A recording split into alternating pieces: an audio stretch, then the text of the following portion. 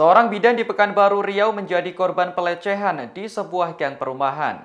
Seorang pria tak dikenal tiba-tiba menghalangi motor yang dikendarai bidan tersebut lalu meremas bagian sensitifnya. Aksi pelecehan ini rupanya terekam dalam kamera pengawas yang berada di sekitar lokasi. Inilah video detik-detik rekaman CCTV yang menunjukkan aksi begal payudara di sebuah gang perumahan. Dalam video tampak pelaku yang mengendarai sepeda motor tiba-tiba mengadang korban yang juga mengendarai sepeda motor. Saat melakukan aksinya, pelaku mencoba menghalangi korban untuk melintas. Kemudian pelaku memutar arah motornya dan seketika tangan jahilnya langsung memegang area sensitif korban.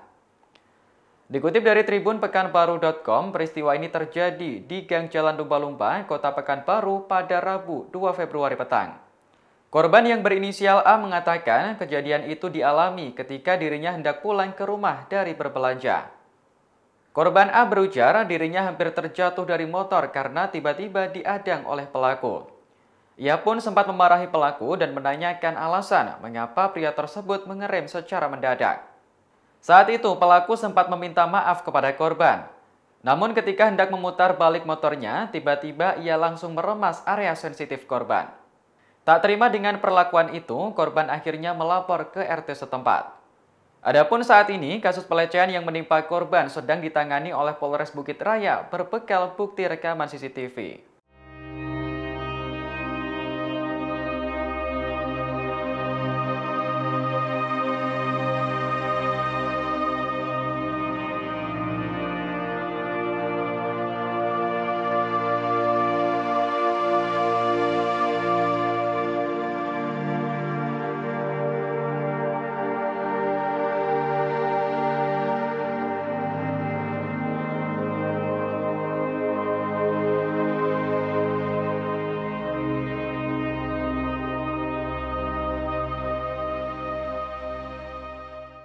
Demikian berita update terkini dan nantikan update berita lainnya hanya di kanal YouTube tribunbanten.com.